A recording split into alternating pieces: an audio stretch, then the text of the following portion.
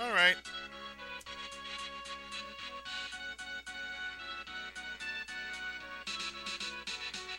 Just because I feel so proud, I am done. The game is over.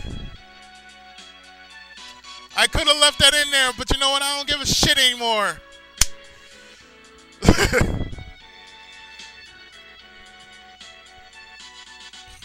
so, with that, this has truly been the end of this game. And my God, I am so grateful that I've actually finished this game. But anyway, I've been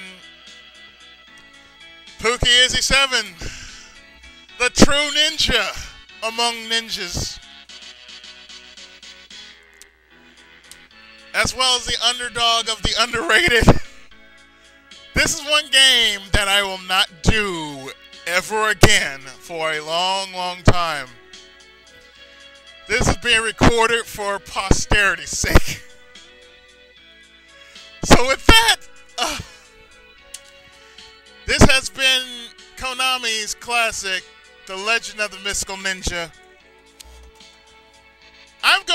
My bearings straightened out for a bit. And when I come back in a short while, I'll add a little bonus feature to the mix because, my God,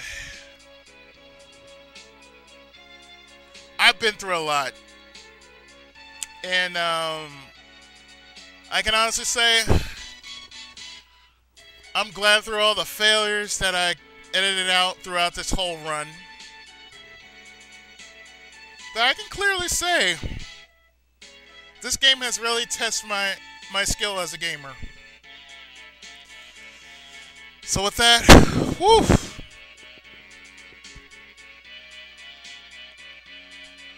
I'm going to throw in something nice and special for you guys.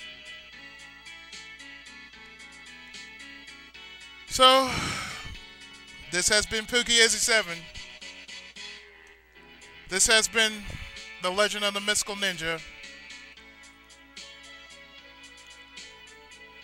And I am finally done. So stay tuned for my next Let's Play. Sayonara!